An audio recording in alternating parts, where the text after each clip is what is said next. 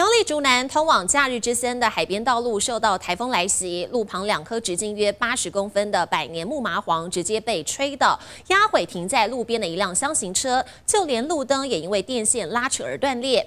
另外，在台中和平山区有路树不敌强风发生树倒意外，还好没有波及到路过人车。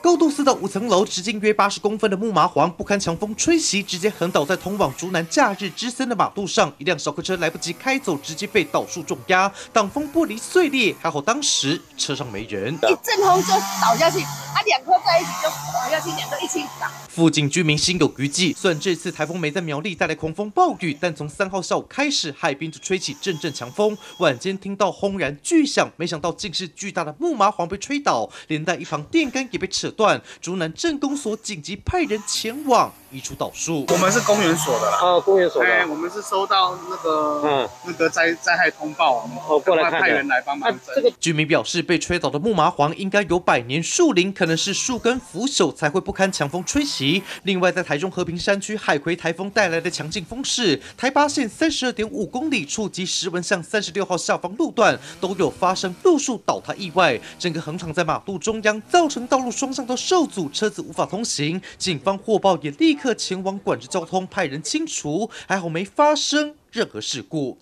借苗栗台中综合报道。